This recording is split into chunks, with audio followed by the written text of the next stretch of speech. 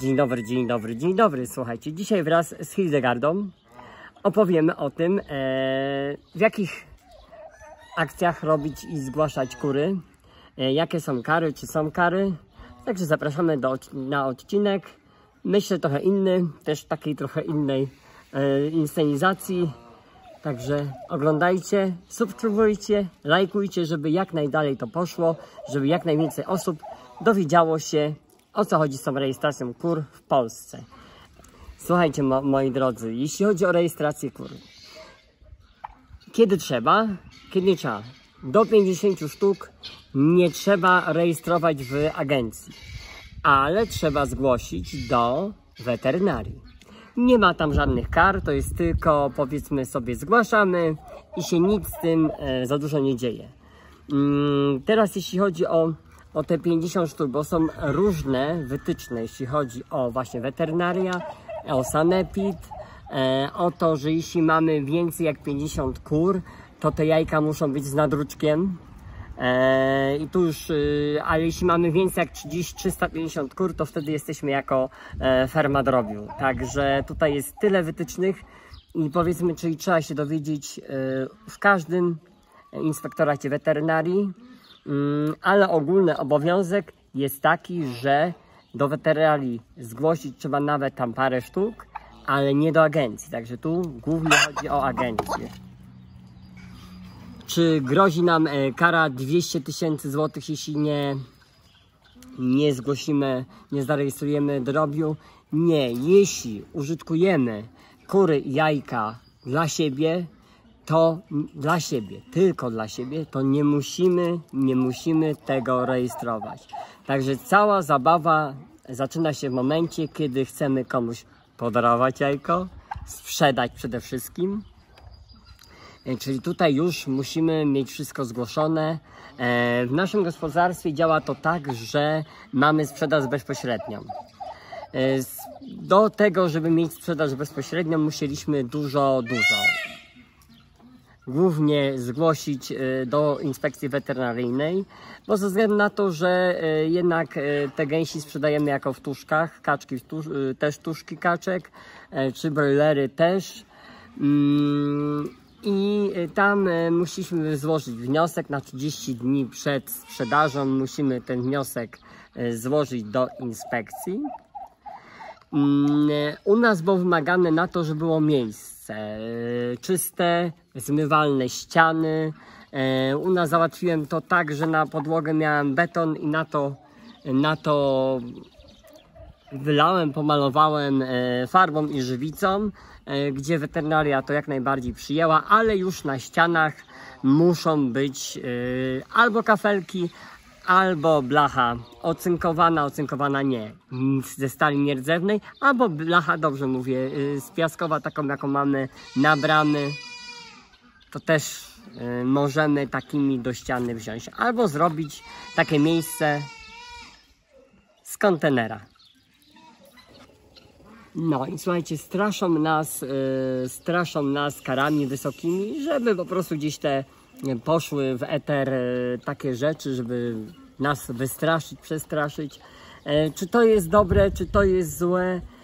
powiem Wam, z jednej strony wszystko ma swoje plusy i minusy. Bo trochę chcą nas wystraszyć tymi właśnie memami takimi, że od jednej sztuki trzeba to zarejestrować i tu warto. Powtarzam, jak robimy dla siebie, to wtedy nie musimy rejestrować, ale tylko dla siebie. To, to, to, to, to jest, wiecie, i to też zależy na pewno od e, osób, z jakimi się otaczamy, od dobrych sąsiadów, bo jak to mówią, e, zawsze gdzieś tam warto dobrze żyć z sąsiadem, bo sąsiad jest bliżej jak rodzina.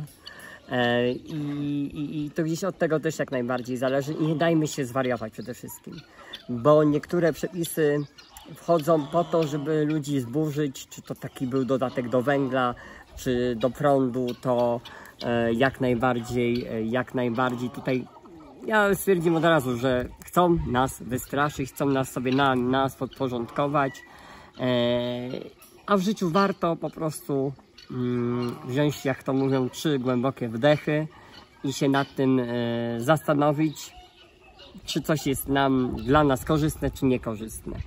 I powtarzam, jeszcze będę to wiele razy w tym filmiku powtarzał, że jeśli dla swojego, mm, dla swojego użytku do 50 sztuk, to nie musimy rejestrować. Jeśli już mamy powyżej 50 sztuk, to tam już się zaczyna to, że musimy do tej weterynarii zarejestrować.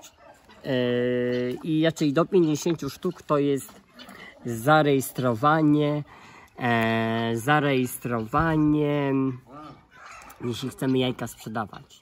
To, to, to gdzieś głównie tu chodzi o tą sprzedaż, bo sytuacja z rynku w tym roku, co małżeństwo sprzedawało mm, wędlinę, która miała e, i tam wiem, czy jedna, czy dwie osoby zmarły.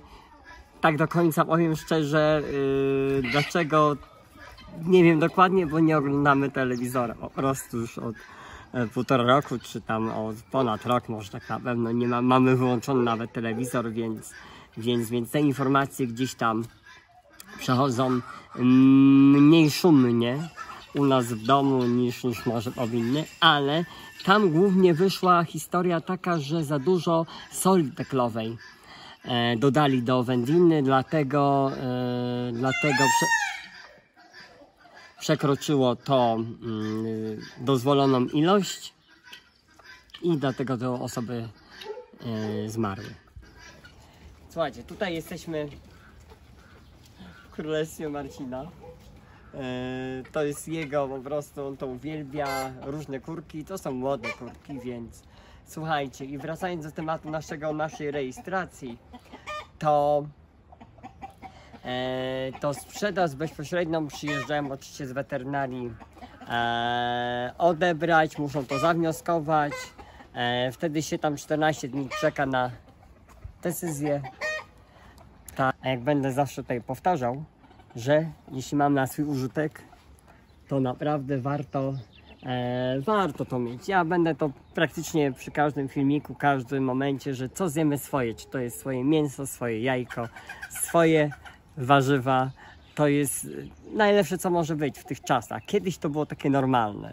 Powiedzmy, każdy gdzieś tam miał swój drób, każdy miał kurkę, świnkę, krówkę, Mm, a teraz to już się zrobił rarytas. Nie? Także mm, jeśli mamy znajomych gdzieś tam rolników, którzy, u których wiemy jak jest hodowane, bo to też zawsze co gdzieś na zewnątrz, y, a rzeczywistość jest co innego, to warto, warto kupować lokalnie różne produkty, czy to kurki, bo no nie, nieporównywalnie to wszystko smakuje.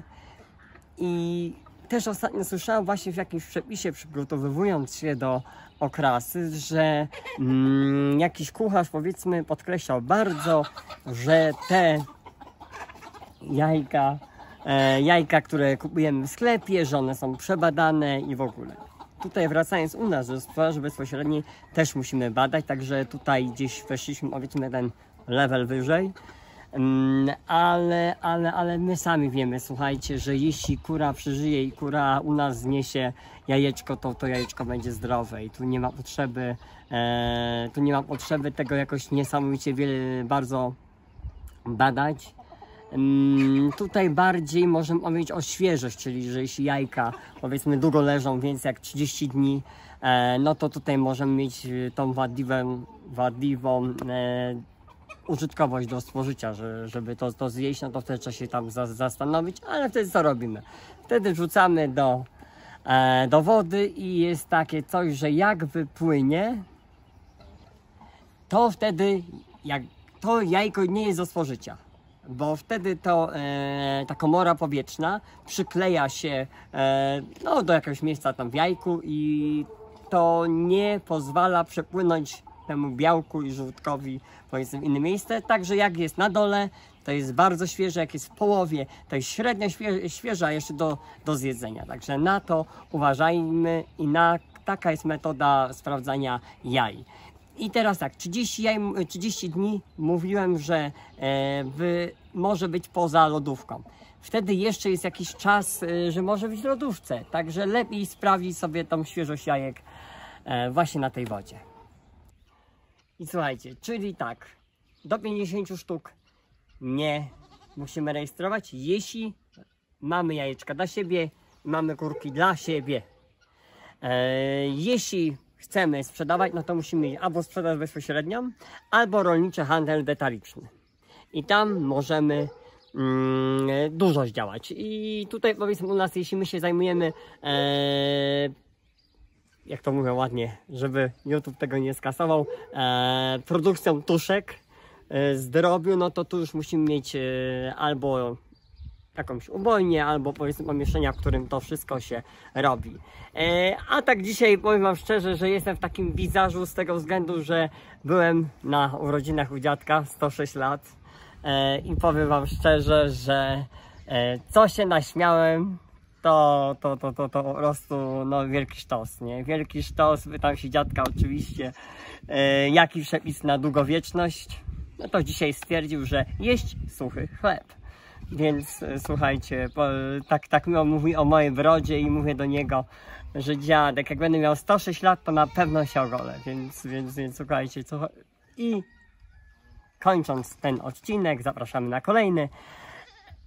Lajkujcie, subskrybujcie nasz kanał, komentujcie, jeśli coś Wam się nie podoba, jeśli coś chcecie się dowiedzieć na ten temat, to piszcie. E, Starałem się po prostu wyciągać informacje z różnych rozporządzeń, czy to weterynaryjnych, czy agencji, bo to są dwie różne rzeczy, czyli co jest innego agencja, co innego jest e, inspektorat weterynarii. E, więc jeśli coś innego się jeszcze tam dowiem, czy to się zmieni, czy nie, nie mamy zielonego pojęcia. To jest wszystko praktycznie z dnia na dzień. Czasami te ustawy tworzą ludzie, którzy nie mają nic wspólnego z rolnictwem, o tym dobrze wiemy i są jakby z kosmosu i na to też musimy jako rolnicy bardzo uważać. Także zapraszam do nas na następny odcinek.